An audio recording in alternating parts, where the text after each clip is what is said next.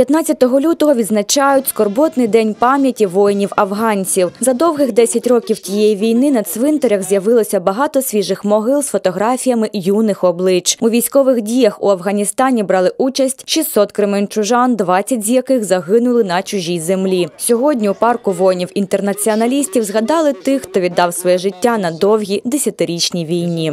Ніхто з вас не ховався від повісток з військкомату, ніхто не думав про те, що можна не виконати наказ. Ви до кінця виконали свій обов'язок. Ви до кінця зробили те, що мали зробити, і повернулися із за річки з прапорами, зі зброєю, горді за те, що обов'язок було виконано. Ми пишаємося вами, ми дякуємо вам. Ми з вами.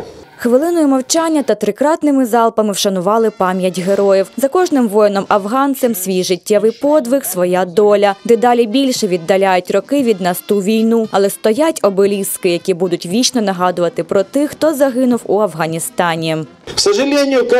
Нас На жаль, з кожним роком нас стає все менше. Та ми бережемо пам'ять про побратимів і їх рідним, які й досі з нами, надаємо допомогу. Сьогодні, у наш день, я хочу сказати, що ми живемо у чудовому місті, і хочу побажати, щоб ви, ваші діти і онуки жили довго і з комфортом у нашому рідному Кременчуку.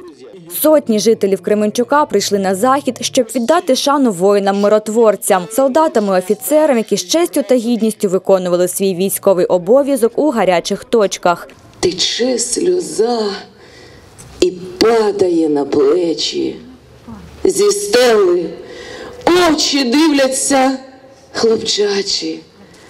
Їм тільки жити, жити і творити.